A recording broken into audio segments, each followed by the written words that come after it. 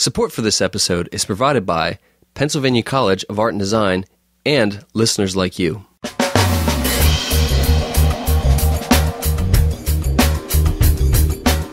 Welcome to the Lancast. I'm David Mouton. On this episode of the Lancast, Steve Carlson and Jason Mundok from the Woodstove House join us once again to share about some of their upcoming projects. During the first half of the show, Jason shares about Creativity Con, which is a convention for creatives right here in Lancaster City. Really, anybody can come together in this in this format and really get something from it when you get a bunch of creative people together talking about the things that they're passionate about then you know the opportunity for for inspiration and to really jumpstart your ideas is is huge and that's what we wanted to put together to present in Lancaster. Later in the show, Steve goes over some of the responses from last year's 24 hour plays, and we talk a little bit about what's coming up for this year's endeavor. We've tried to reach out to you know, broaden the pool of actors and writers and directors that we had from last year. And a lot of people are back. A lot of people have conflicts and moved away and, and have other things going, so they're not going to be involved. But there are names there that, again, this year we don't we don't know who they are, and they have sent us their information. And there's some people with a lot of experience Yeah. that that are interested in doing this project with us, and it's really exciting to see who these people are. And it's going to be like last year. It's it's fun. Like, hi, I'm Steve. Uh, oh, I, I'm Yeah, whoever. whoever. I, you know, and you, you've seen their name in, on our Google Doc, you know, for weeks, and you're just like, you can't even imagine who they are. You know, one of the greatest things that came out of the 24 hour plays the first time we did it, in my opinion, was the relationships that we've developed with folks who were involved with it who we didn't know prior. Enjoy the conversation. Well, welcome back, Steve and Jason. Thanks, David. Thanks for having us. Well, we're going to talk about a multitude of things, uh, Woodstove House related today.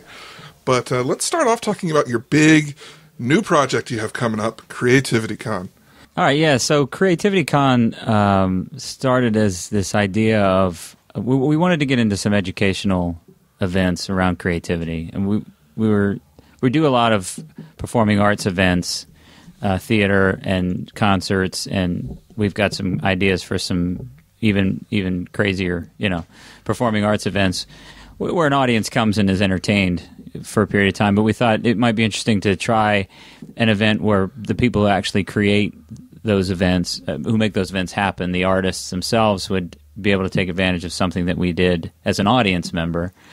And there's a real wealth of of um, of just people in this area who write about and uh, creativity, who are living creative lives, who have figured out ways to monetize, you know, their passion, their creativity in a way that that they can, you know, survive on it, or at least it's a big part of their income.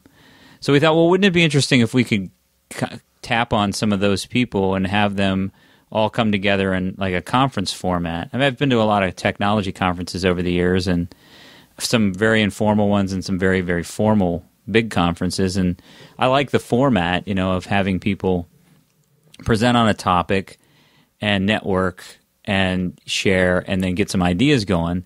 So we threw it out there. We came up with sort of a format for a one day conference. We didn't want to bite off more than we could chew and partnered with our friends at the Candy Factory as a great spot to host this this event and we figured let's start with a one day conference and let's put out a call for presenters and see if anyone's even interested in in speaking at something like this in Lancaster. And the result of that was pretty positive. We had um, yeah, we had a, more than a dozen people who were interested in speaking, and there was some really good presentations that were proposed. Some some of which were even that we couldn't use because they were maybe too specific to a particular discipline. But we came up with five. Well, we were we were you know there were five proposals that we thought were really strong and, and would really inspire people. Um, so we kind of let that dictate the way the day would look, right? Because we weren't sure exactly what we would get. And um, it turns out that the result is it's really a, a um, kind of a generic. It will be a, a generic day in terms of specific creative pursuits. So if I'm an actor, I, I will get something from this. If I'm a writer, I will get something from this. If I'm a musician, I will get something from this. It's not specific to a discipline, um, but we're calling on a diverse group of creatives to pr- bring their ideas. So we have Dr. Amanda Kemp, who's a uh, you know in theater as a playwright, and as the as the founder and artistic director of a theater company. Have Andrew Zahn, who's who was a professional actor but is also a writer. He just released his first ebook. He he blogs. He writes uh, for companies doing social media.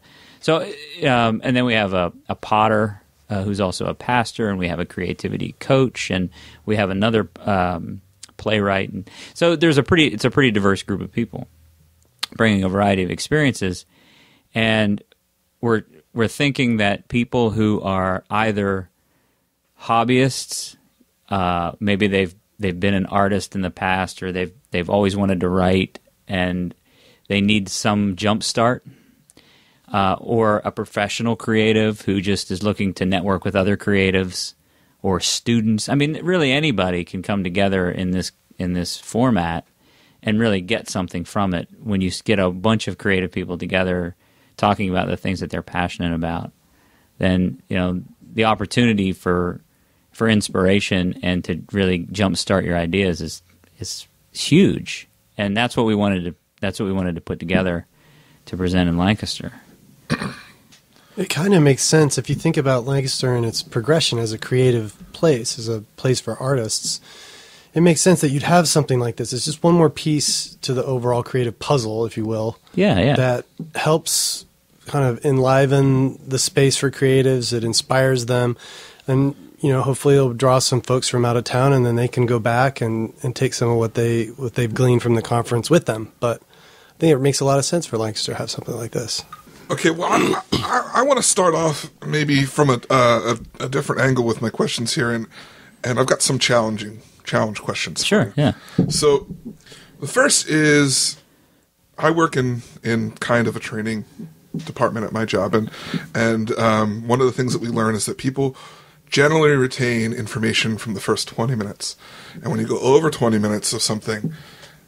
Like it becomes more difficult for people to retain the information that they Sure. want. Not that they're disinter- they're disinterested or anything. It's just more difficult to do that. What kind of things throughout the day do you have to break up the process so it doesn't feel like learning or um, monotonous? Well, the first thing is that the, the sessions themselves are 60 minute sessions, but the presenters have been um, have been directed or guided to, to to really put together a presentation that lasts about 40 minutes. So the last 20 minutes of each presentation is is um, geared toward open discussion. So we plan to to really open the floor at that point. Some of the presenters are talking about ha- making their sessions really interactive throughout. Others will probably be presenting 30 or 40 minutes of information first because that goes pretty quickly if you're speaking, you know, if you're speaking in that capacity. Uh, then there's breaks between each session. So you know, there's you can get up and stretch and move around for ten or fifteen minutes be- between each session. There's only two sessions in the morning, and then we've extended the lunch hour.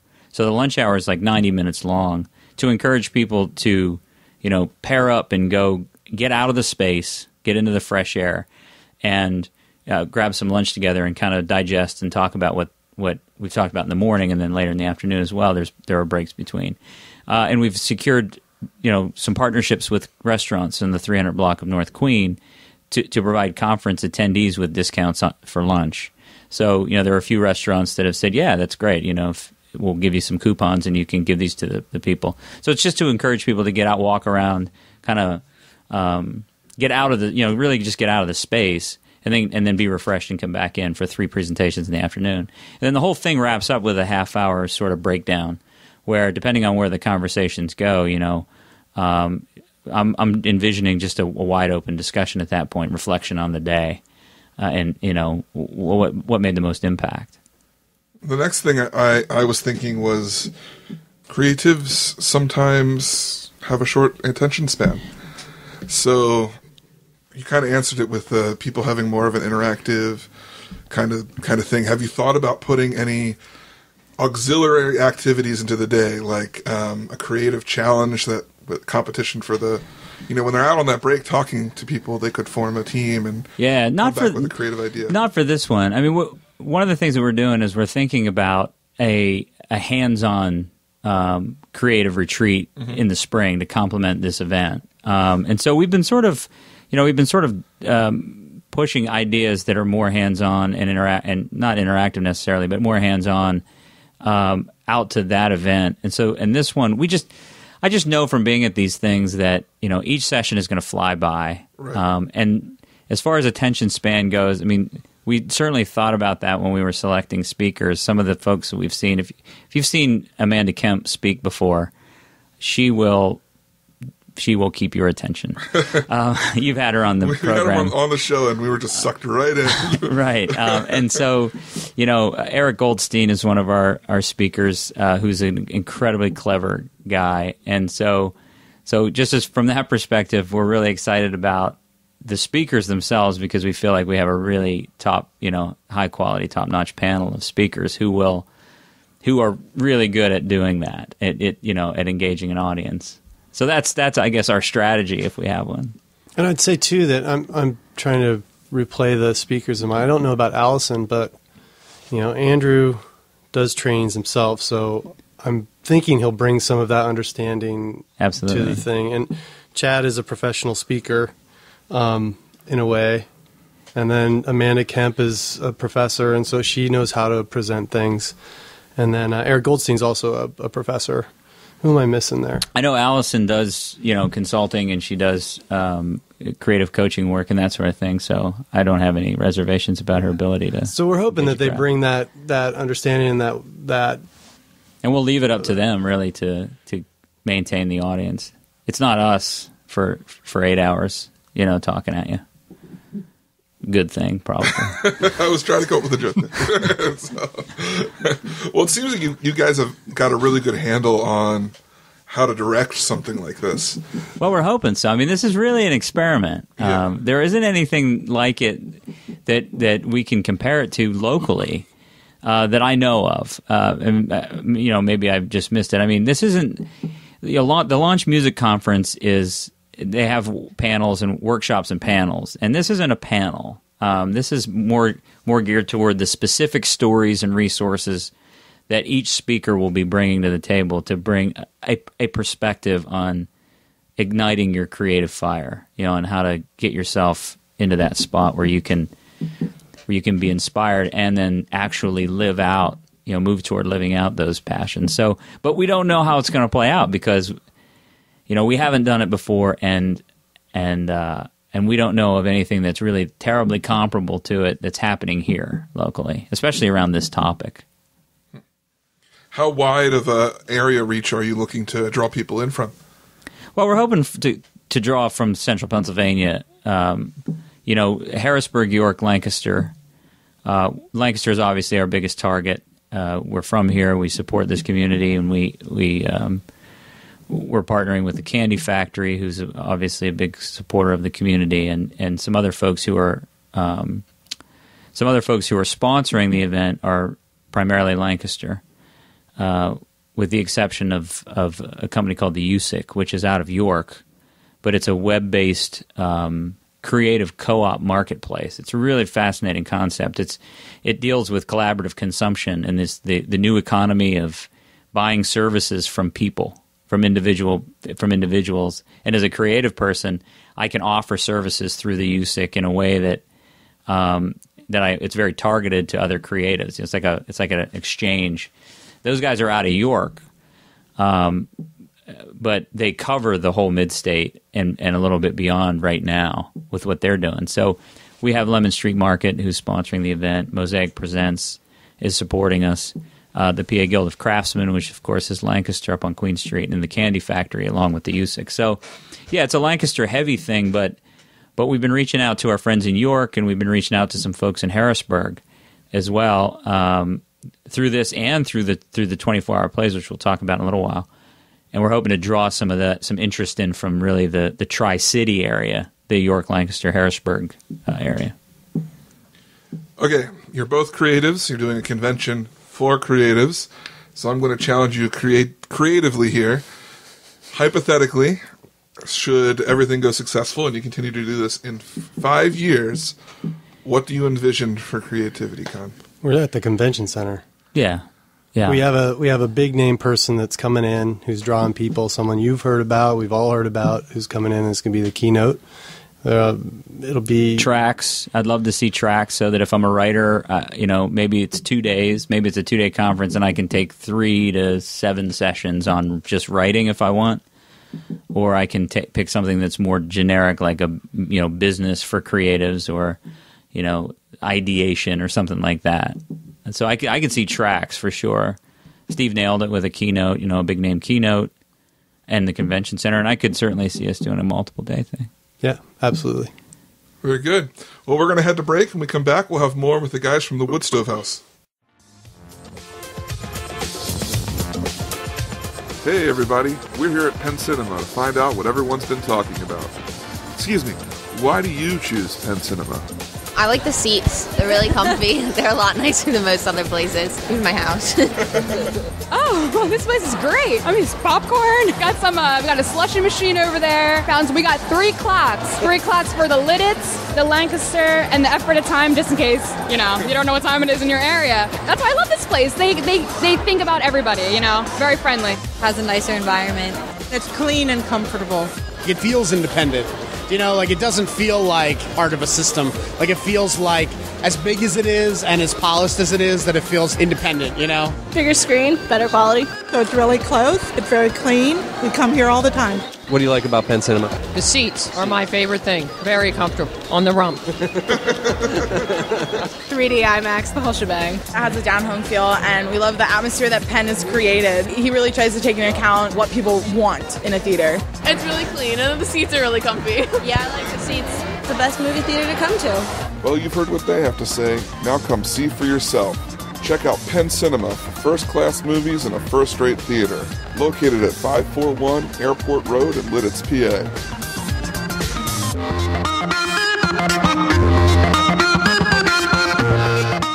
And we're back on the Lancast with Steve Carlson and Jason Mundok. Guys, last year you were on talking about 24 hour plays. And that was almost a year ago, exactly, or something like Yeah. that. It was, it was October last year. Um, I went. Becky was with us then. She went as well, and we had a great time. What was the turnout like? We packed it. I mean, we sold out, what, two days ahead of showtime. Mm-hmm. Sold out. We had people calling you to see if they could act in it. We had people coming by the the rehearsal space the night of the meeting, the Friday night. Hey, are there any tickets? No, I'm sorry, there aren't any tickets. We got people approaching me like, when is this thing? I got to get my ticket. So uh, the turnout was great. Um, so this year we're moving to a larger space, Community Mennonite Church of Lancaster on Orange Street, downtown Lancaster, and we're we're hoping to fill that place as well. So this, with the new venue being in a church, it brings up something that um, I noticed during the first one, and it was you didn't know what kind of content you were going to get, and and while I personally wasn't offended by any of the content, it was definitely more progressive than what I think Lancaster County is is used to. What uh, kind of restrictions? No, even not restrictions is the right word. Maybe um, Parameters. parameters have you put on the put on the stuff this year? So If I, any. I think that that kind of typifies a lot of the progression that Jason and I and Suzanne have, have gone through as you know involved in this kind of stuff. When we approached the 24 hour project last year, we went in there the first meet. Hey, we're not theater people. We don't. Hey, come and talk to us if you have a suggestion, all that kind of stuff. We've been through it once already, and I think we're gonna grab it a little bit more. We were, I think, a little hesitant to to say, "Oh, you can't do this. You can do this," and that kind of thing. So, one of our writers went there and went, you know, pretty far down the road of of pushing some limits and. And it being in a church, there are going to be a lot of people um, from the congregation that are going to be there.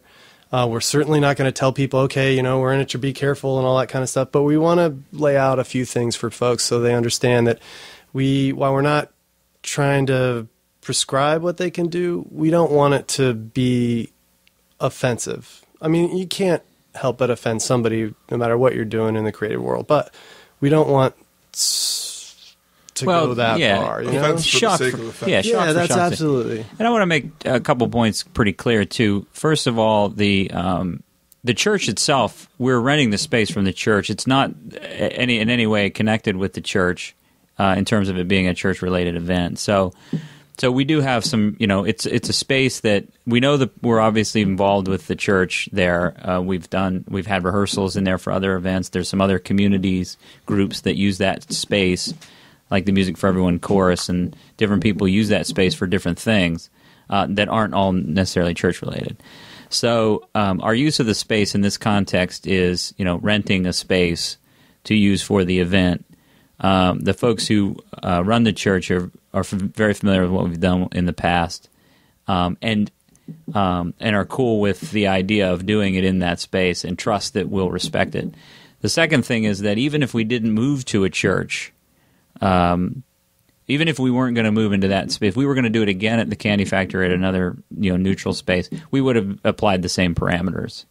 Um, because we felt like that you know just from the the perspective of kids this isn't not for little kids and it and it's not something that we would ever do in this for this project Lancaster 24 hour plays but uh, but you know there are there you know there could be teenagers that come there could be you know younger kids 12 and 13 years old and we just want to make it appropriate for the masses uh, because we think it's an awesome idea and sometimes that there can be you know if you go too far it, it can just it can just put a bad taste in people's mouths Now, I, I need to apologize to any of our newer listeners who, who missed the guys last year.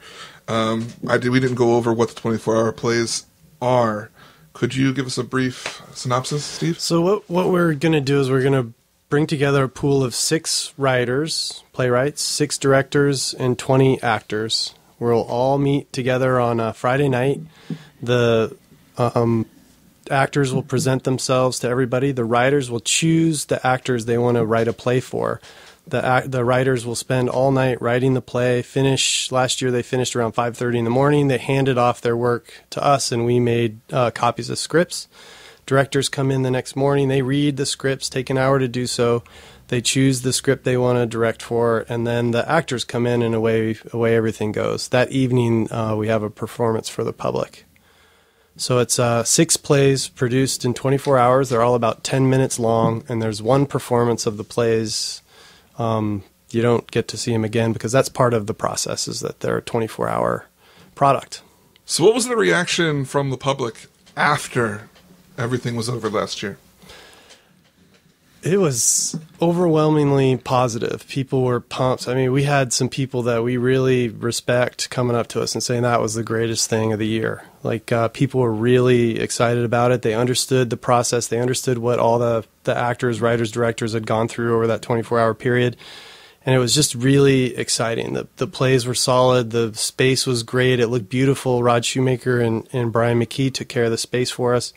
It was a perfect night for theater in uh, in Lancaster. As far as I'm concerned, I thought it was wonderful. Tim Baum playing crazy music with his turntable guitar playing whatever that was. I mean, it was it was wonderful, and, and it, it's difficult for us to look at this year and say, "Oh, we have to do that exact same thing again," because we can't do that exact same thing again. We're going to try to produce another wonderful, awesome evening of theater, but we you know, it's hard not to say, oh, we need to have that bit because that bit worked, and we need that bit because that bit worked. We need to have it be a fresh, new thing that's exciting for everybody to attend. Well, with the new space, uh, you obviously have room for more people. What other kind of benefits do you have from the new venue? Well, the new venue will also allow Tim Baum, the musician, to maybe play a little bit with what he's going to present. I know Jason's talked to him about about that. We also, um, I was in a conversation with Rod Shoemaker from Shoemaker PDT. Um, he's excited about getting his fingers on some stuff, and he's got some toys that he um, is going to present to us as as possible things to enliven the space a little bit. Um, our goal, I think, is to take you know the the the sanctuary there is a pretty neutral space, white walls, no real adornments or or um, decorations or anything. We're gonna have Shoemaker come in and, and transform the space. That's what he does, and we want people to walk in and and say, "Wow, I'm not. I go to church here. This doesn't look like the church anymore. Uh, this looks like a theater." And so that that's what we're looking. That's what we're looking to do. I think one of the main advantages of this new space, um, outside of capacity, is uh, it's really a performance space. Uh, it was um, that space was used it was not built as a church. It was a ballet studio for a while. It was uh, Theater of Seven Sister had done. I just found that out. Had done some work in there in that way long time ago in the past. So, and it's designed. To, it has a stage and it has seating that's designed to you know for the seats to face the stage. Uh, with the Candy Factory, you know, we were converting um, an open plan office area, office space, essentially an old warehouse but we were converting that into a theater. So we had some issues with uh, uh, sight lines. Uh, you know, we couldn't seat. We could have actually fit more chairs. We had 100, 115 chairs in the space, but we could have fit more chairs. But you physically couldn't have seen the stage from where we would have put the chairs. So we did lose space. Um, and the, the, the parts where we put the chairs were very crowded. It was very intimate. Uh, in in this space, uh, you know, it's it's essentially a performance space every week. Uh, and so there, we know how many ch- people fit in there comfortably, uh, and so we don't have to worry about we don't have to worry about those sort of logistical issues. The other thing is that the building is as well. It's heated. It's heated. uh, which we had, we had actors up in their jackets, totally freezing while they were, were rehearsing these pieces because they were up on the third floor of the Keppel building. You know, there's right. no heat up there. Um, so yeah, there's heat. Yeah, through through the day, we um, these teams, uh, I'll call them these different teams of actors and, and and directors have to go and find quiet space to rehearse in. And um, it, in the Candy Factory, in the Keppel building, the Candy Factory was the heated space. so, once, so if you weren't on stage rehearsing, you know, for your your sliver of time, your hour, then you were literally in various places throughout the Keppel building, and it was it was a very cold weekend. Yeah. So it it will be very it will be very comfortable. Plus, we have access to kitchens. We have access to um, some sort of chill space. There's a, there's a there's a space where there's a few couches. Uh, and some carpeting. It's just like a really comfortable place for people to relax. So it will definitely be a better environment for the for the crew. You know, to add something to what we were talking about too, like putting some parameters on some of the content. Um, we'd we'd also like to present to the writers like, hey, your actors need to go off book when you write this, and so please keep that in mind as you go. Like, give them a chance to go off book. Um, we had a, nearly every well, with the exception of one play, went off book last year, and it, if you saw that play, you could understand why. It was a very complex kind of meta play that really had little narrative. I didn't have really a narrative through it, so it was really difficult for the actors to to commit that to memory over the short period of time that right. they had to work on it. So that's another thing too, maybe to think about as we present ourselves to the to the writers. What type of audience do you think is more most attracted to this type of event? Because in something like this where you've got so much creativity, you've got a, a short period of time, you can come up with funny things, you can come up with really dramatic things, or you come up with really artistic things, and each of those kind of has a different kind of audience. What type of person have you found really enjoys to to come to the twenty four hour play? I mean, that's that's a tough question because I mean, if you look at the crew, I mean, we have this crew of forty five people. Automatically, you get a an audience, right, from friends and family and things. But I think that people who like Lancaster last year when when Jason got up there was like, hey, you know what? We weren't sure if if this town was ready for this kind of thing, and and we filled the house and they were ready. So it's it's people who maybe go to First Friday who are looking for something that's a little bit different. They don't necessarily always go down Gallery Row. They're looking for for something that's a little bit offbeat. Um, they may go to the Fulton and support the Fulton and some of the more quote unquote conventional um, artistic forms that are in town, but it's just people who want to be who want to see something that's that's a little bit different um, from what is being offered right now in, in Lancaster, and and that's not a criticism at all at, at what's out there because there's so much amazing stuff, and this is just one more thing that people can enjoy and and is challenging for people like wow okay these people just wrote this and they did this and this is awesome and I love this space and this is great and wow. Like that's what we want um, to hear from people when they're when they're done. Not to put words in their mouth, but well, wow is only one word, so. Yeah, one word. Wow, that was awesome. oh, that was awesome. I didn't. Yeah, um, I, I, think it's, it's, a lot. Of, a lot of it's about um, curiosity. You know, I, I'm uh, fascinated. Being part of it last year was one of the most amazing things because I've been a musician uh, all, all my life, and so I've been part of this creative process. But to to work on an event where I'm not really part of that, the creative process of it, but we're really just setting the stage and creating an environment for them to work in. You know, you build up in your head what what it's going to be like. You, can't not, and to see what these folks, extremely talented people, came up with in 24 hours. I mean, yeah, it was it was nerve wracking from the pr- producer perspective because we sold out a show before we had met anyone who was going to be in it. I mean, we knew a handful of people that were going to be in it, but w- between the two of us, we probably only knew a half dozen people of the thirty who were part of the actual cast. Um, so we hadn't even met a majority of the people who were going to be in it, but we we sold this out, and our reputation was on the line. So it was very nerve wracking. It was one of the most nerve wracking uh, events I've ever been involved with, like from a physical physical illness perspective. but um, but for me, it's like oh, it's like it's sort of like the car wreck thing where you just you can't not look. Like I want to see what these people come up with. I want to see what when you give them a challenge. I want to see the magic happen. You know. And I mean, there, there's, and that you said it like the magic happened. We, we were there.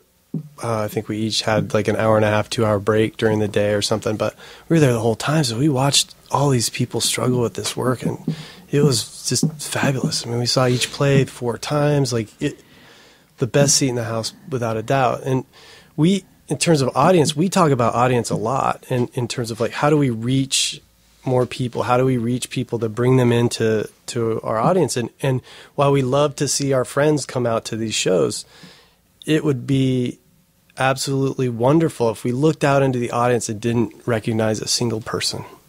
Because that would mean that we we're starting to reach out further and further and further, and you know something's something's happening that we, I don't not that we can't control, but we just don't. Yeah, I know what you it mean. just It's is out there. Um, because we've talked about it, the same people that are going to come to our show will go to Series 4 to 2 shows, that'll go to the Creative Work shows, that'll go to somebody else's show. And the struggle for all these groups is to get those people who don't go to the shows that, that Yeah. we that we produce with. to reach out beyond the borders of Lanc- the Lancaster creative scene and widen that, you know, widen that circle a bit is a is a real challenge, but it's also a real important goal. Can't help but think Steve was saying to me directly, "Don't come. I don't want to." No, that's I, mean like the audience. no, no, no, absolutely not. don't make me cry over not. here, man. no, you know what I mean, though. You know, Yeah, I like we we certainly want all, all everyone we know to go, but um, No question. Just sit where you can't see him. Just give you a hard time. but that's why we you know we reached out like um, you know through some of the contacts that Jason's met in, in York. We've we've tried to reach out to you know broaden the pool of actors and writers and directors that we um, had from last year. And a lot of people are back. A lot of people have conflicts and moved away and, and have other things going, so they're not going to be involved. But there are names there that, again this year we don't we don't know who they are, um, and they have sent us their information. And there's some people with a lot of experience Yeah. that that are interested in doing this project with us, and it's really exciting to see who these people are. And it's going to be like last year. It's it's fun. Like, hi, I'm Steve. Hi, I'm Yeah, whoever. whoever. I, you know, and you, you've seen their name in, on our Google Doc, you know, for weeks, and you're just like, you can't even imagine who they are. You know, one of the greatest things that came out of the 24 hour plays the first time we did it, in my opinion, was the relationships that we've developed with folks who were involved with it who we didn't know prior. I mean, uh, some of the folks who are speaking at our conference we met because of the 24 hour plays.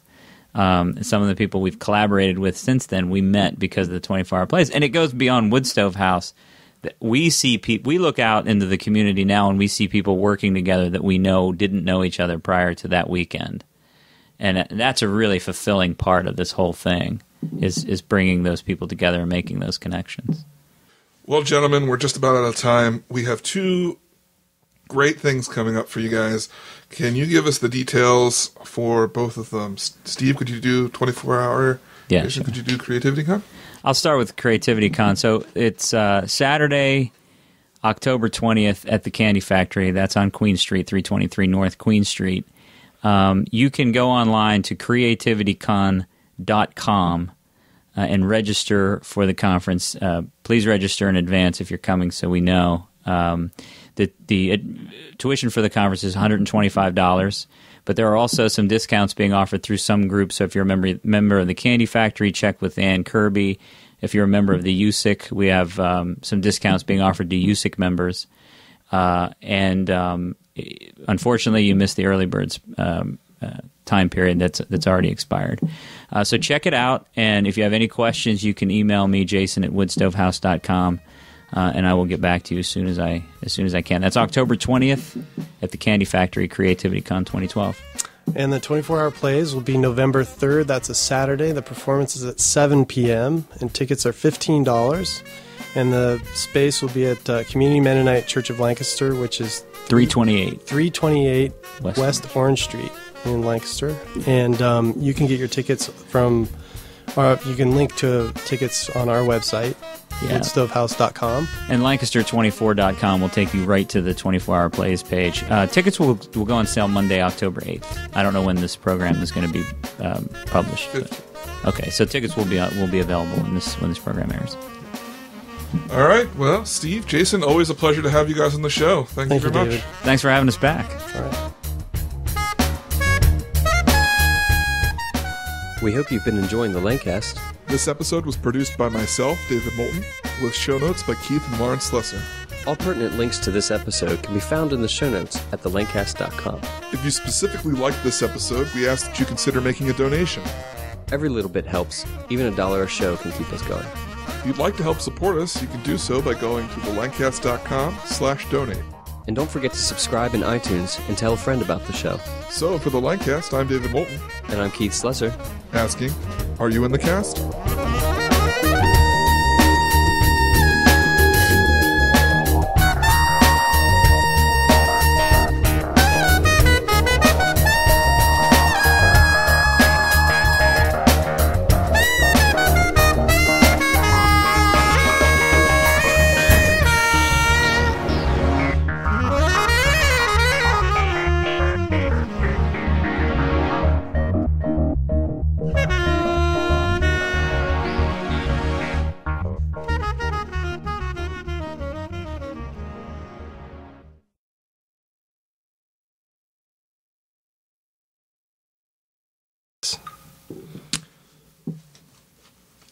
Please silence your electronic communication devices. I can't believe I was the one to forget.